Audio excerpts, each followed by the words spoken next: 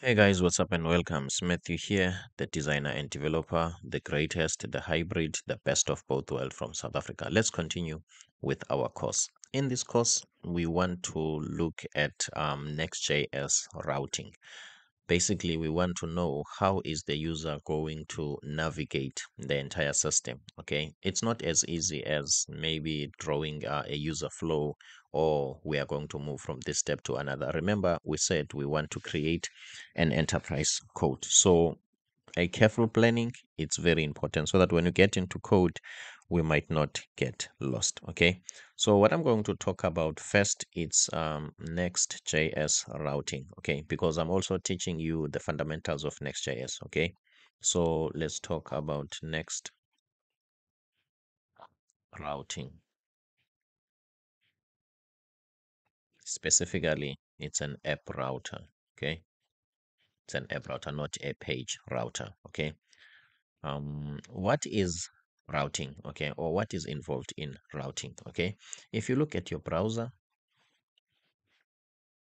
you will have um, this part here okay for url the url stays here this is where you type www.google.co.za okay in um in any application okay there is something called routing specifically the web application okay? So um let's say there are different paths that you might go to from clicking a certain icon okay? Um, usually this is done by an anchor tag in html which will use an href and then here there will be um, let's say um, robo assuming that this application is robo forward slash login. Okay and then this will be login. Okay and then we close the anchor tag. Excuse my writing. So maybe here this will be the login. So when you click here automatically you are taken to let's say this uh, path. Okay this file which is login. Okay so this is the routing mechanism. It's how the user will navigate. Let's say when i get into the app this is the menu when the user click one of these uh, list item this will take them to this and this will take them to this and that is routing. So what i want to to uh, bring to your attention is that when we talk of routing we always include the url okay? Uh, the url which is this part okay? Meaning that we are going to go to robo in our case login and also we are going to get to robo register. Okay for instance okay? So um this this name robo is just a name okay? Just an, a random name okay? So as you can see so we cannot talk about routing without mentioning this okay? Cool. And then um if you look at this okay? We are going to use the same template okay? We are going to have let's say login screen looking exactly like this. I'm just going to draw a wireframe here. Nothing fancy. Okay. This is for login. Okay. The robot will always be here. Okay. Let's say this is lg login. Okay.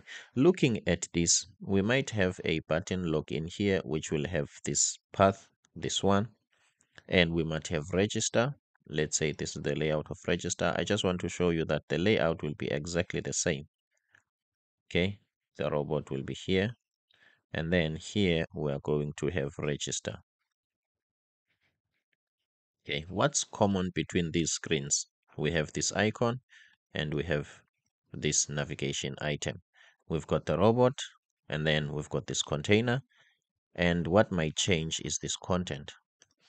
Okay this content will be different and this content will be different um, if you look at it we have the same layout here. So based on this href we can treat these as page one and page two. What does that mean? We are going to repeat this and this. We are going to repeat these and these. We are going to repeat the design of this container and the design of this container meaning that when you click on login here it's going to take you to this page and when you click on register it's going to take you to this page okay next.js um, has got a better way for that for doing that okay a way whereby we are going to take the common parts in here. I'm going to um, draw these maybe in a green color or let me just use a different color which is blue. Okay, this part is common. Okay, this part is common. Um, this part is common. Okay, this part is common. Uh, let me just um, in terms of the robot, um, let me just draw it like this. My apologies about that. Let me just draw an image like this. Okay, this symbolizes the image. The container, okay, it's the same. Um, the heading, where is the heading? let's as you can see here log into your account. It says welcome this is going to be logged in. Okay let's say or let's do it exactly as it is. Okay we will change some few things. So now let's just say that the content inside this is starting to be different so next.js next next.js helps us to work smarter. Next.js can take this blue component as a layout. Okay? Which means always available. Or always in display. Let's just say um let's say always rendered. Okay i'm just uh, trying to look for the exact term here. Always let me just say always there okay? Let's not complicate things. Okay this will always be there. As you can see guys even if we are on register the only part that will change is this one. Okay this is the only part that will change okay let's see are we live? Are we recording? Because sometimes i forget to record. It looks like we're recording. Okay thank you so much for that. So this is the layout. So next.js can help us to put this layout in all the routes okay such that we can only change this part. As you can see we are starting to think about the enterprise code okay making sure that in our planning we are eliminating um, redundancy okay cool so how does next.js does that? Okay so next.js has got a file-based routing.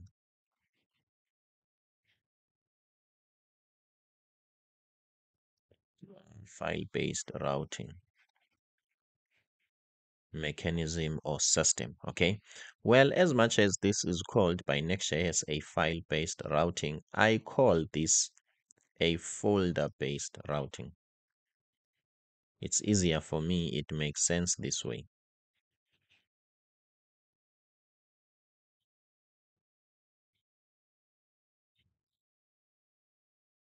What do i mean by that?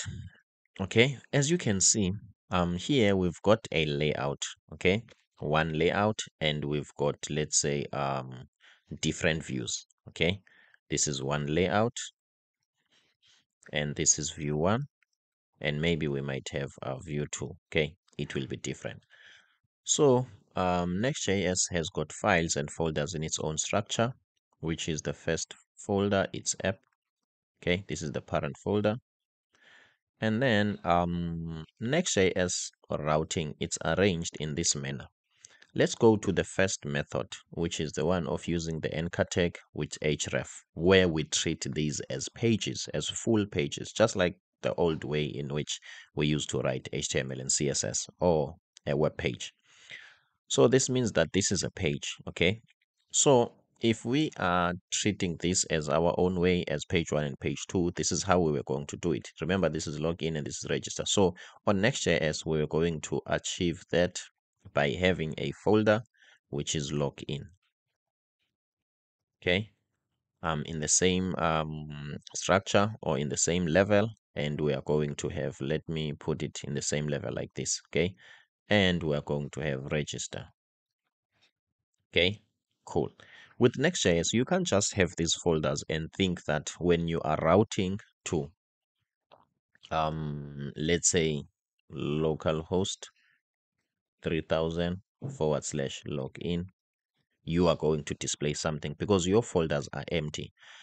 Next.js insist that, okay, you don't only have this folder, okay, but inside this folder you must have specific files. These files are important okay? Number one you must have a file. Um can't i put this in? Okay okay okay okay okay. What am i going to delete? Because i need more space. Okay for now let's continue. You must have a file called page. Okay let me even use small letter uh, why it looks like i can't use a small letter okay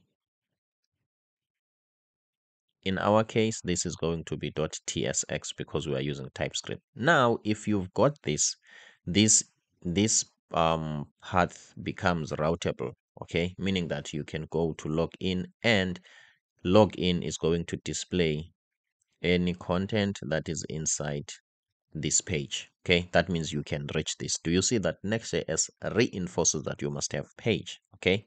Cool. Next.js is very smart okay? Um let me just continue with this one. Even if we want to go to forward slash register okay?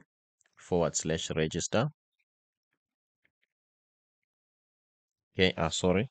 Inside um the folder register inside the folder you must also have page.tsx okay meaning that you can also get into forward slash register. Okay you can also get to port 3000 forward slash register.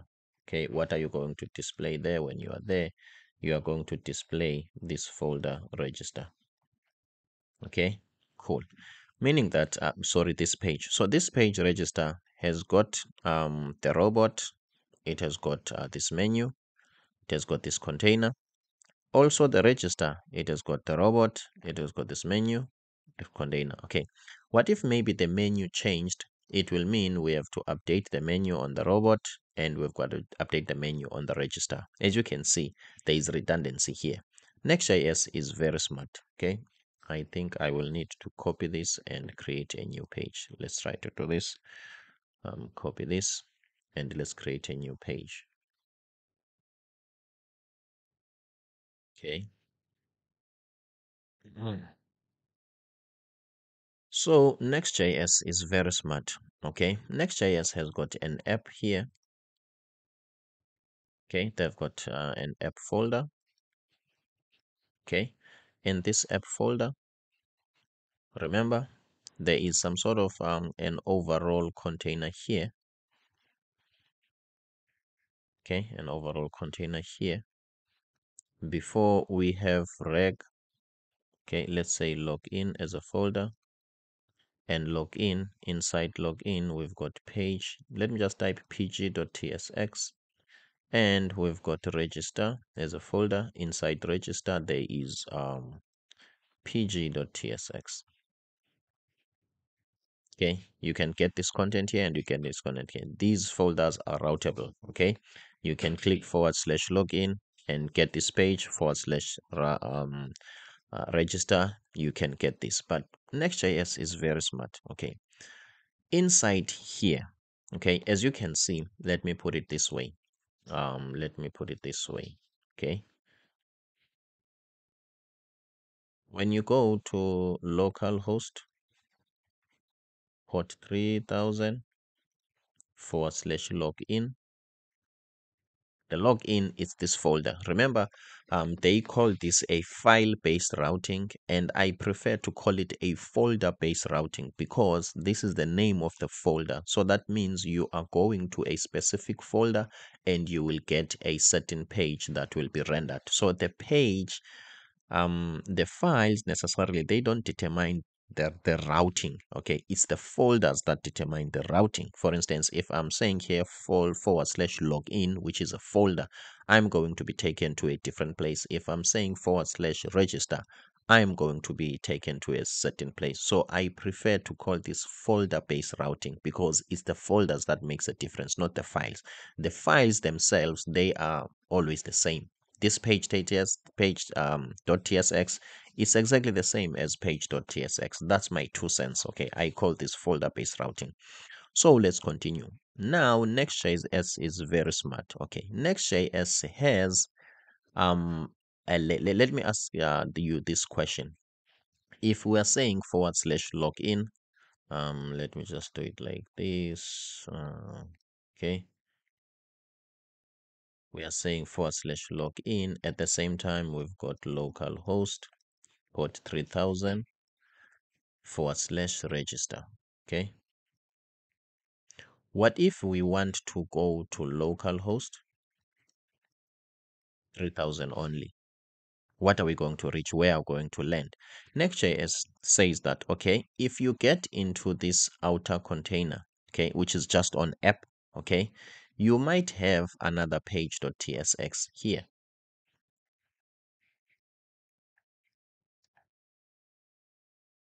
Uh, page.tsx okay? This page.tsx will be responsible for this as home okay? As you can see guys. So this is the home okay? You use this page.tsx right on app this is home. As soon as you say forward slash login you go here forward slash register you go here. Next.js will take it further. Next.js insists that you have in your own um okay in your own app folder okay you must have um a layout file okay .tsx this file is very important okay? What is this file for okay this file anything that you put in here will be available to all the routes. So this layout is responsible for putting all the code that will be available inside this route okay? Let's say we decide inside this layout uh, when it comes to code i will show you how does this work okay so inside this layout we decide to put our robot guy okay? We decide to put our icon with our menus. We decide to put a container. And then we decide to open a room for children okay? The children it's everything that is going to be dynamic. It will be injected only here meaning that now by doing this when you go to log in okay the green container this this one let me um let me just use a different color my apologies about that. What color can you use? Let me use gray okay. Let's say this is a gray container a gray layout okay. Now when you go to log in okay when you go to log in you are going to have the gray container. Okay. Here you are going to have login as children everything that is inside login. Okay. Meaning that this will be displayed as is and then the content which is here you are going to substitute this with this content what if you are going to uh, register okay? The same container gray container will be here. And at the same time with this as a child you are going to substitute the reg the reg page which is this page now as you can see next.js is starting to help us to be smarter okay to um to be efficient okay because we can have one layout which is this one. It will have all the things that remain the same including these guys here okay including these guys here. What will change? It's only the content here. So now um we've got this page. Now my, somebody might ask what will be inside this page okay i'm not going to get into details into it but i'm just going to show you some example. Here in this page we will have conditional rendering. Okay?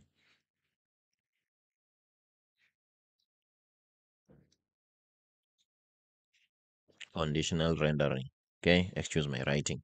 Conditional rendering. This means that we will render log in or register depending on is login okay one thing that you need to know about programming, we've got some very funny names, okay?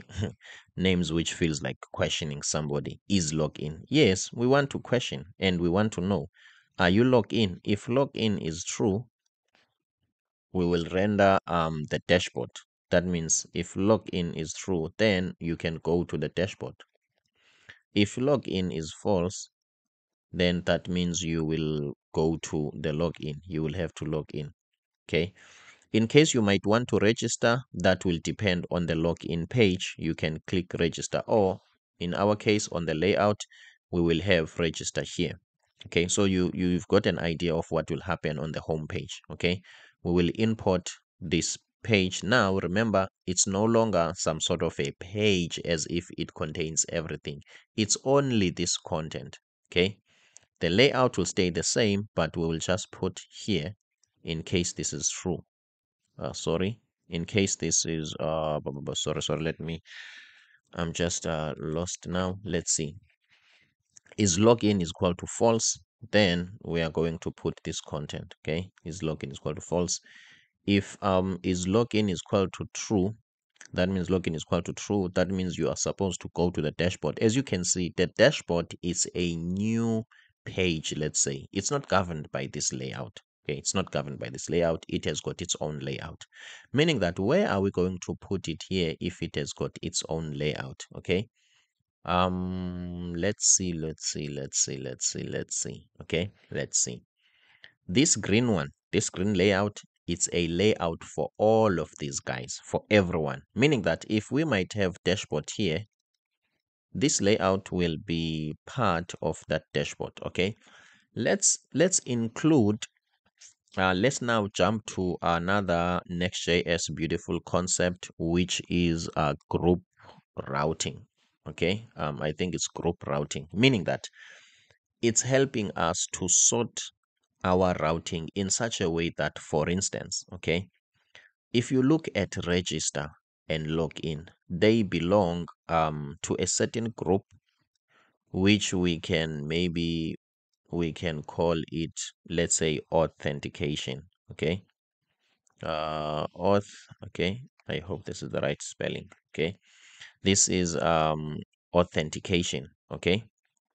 And then um the other pages which is like your dashboard and other things let's say they belong we can say um to the actual app okay? The naming here guys is not important. Or you can say this is the root of your project. So meaning that now we need to have route groups okay? Why? Simply because we want to distribute the layout accordingly okay? This layout as much as it works here on the page okay? But it looks like it's not supposed to be here. It needs to be very local because it needs to control it needs to control only the auth group okay? Which is let's say this layout needs to be here. So that it can govern log in and register. This makes sense. When you get into here you will only govern log in and register if you get into the app router we will find um, another layout for dashboard okay? Another layout for dashboard. It will only govern dashboard and let's say dashboard users statistics and more. So as you can see here this was the best but obviously we didn't think far here okay? We were only thinking of this okay now that we are thinking outside the box we need to rearrange the structure in such a way that it allows this okay? So let's just um continue to talk about that. So now our structure is going to look like this. We've got an app here. Okay um we've got the page um let's see we've got the page tsx that will act as home. We've got the layout tsx that will be a layout for everything okay? At the moment um we are going to leave this empty let's say okay? And then what we want to do we want to create route groups okay? How are we going to create route groups? Let's say we've got um, the auth here okay authentication. Here this is a group. How how do you show a route group? Um you show a route group by putting this folder this is a folder guys. You put this folder into um inside parentheses inside the brackets okay? And this auth group will have still another folder which is going to be the login. It's like we will copy and paste this folder login. Inside this login we will have um, a page.tsx and then inside here the same we will have register. Inside register we will have page.tsx um, excuse my writing. And then as a controlling layout we need to have a layout inside this folder. The layout that we spoke about with the gray container okay as you saw on the previous line. And then now this works perfectly okay simply because um this route group okay controls all of these the login and the register okay? The it has got a common layout. And then we are going to have let's call this root okay which is the actual root of our application. Let me type this here. This is a route group as well um i apologize about that. Let me be consistent. This means that we are going to have dashboard.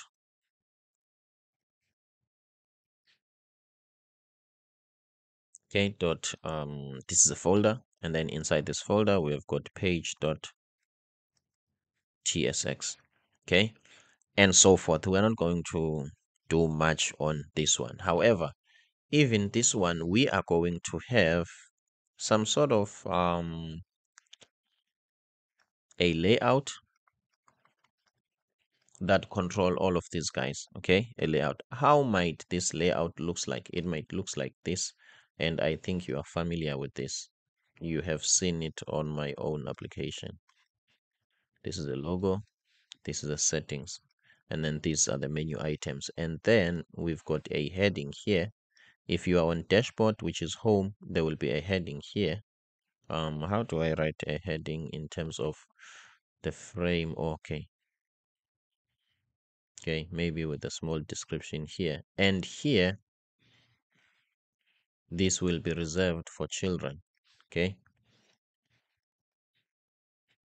My excuse my writing.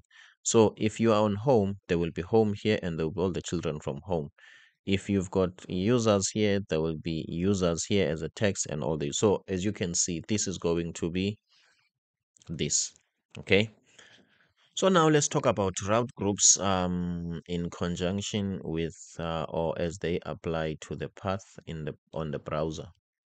Okay, route groups in Next.js they are invisible on this path.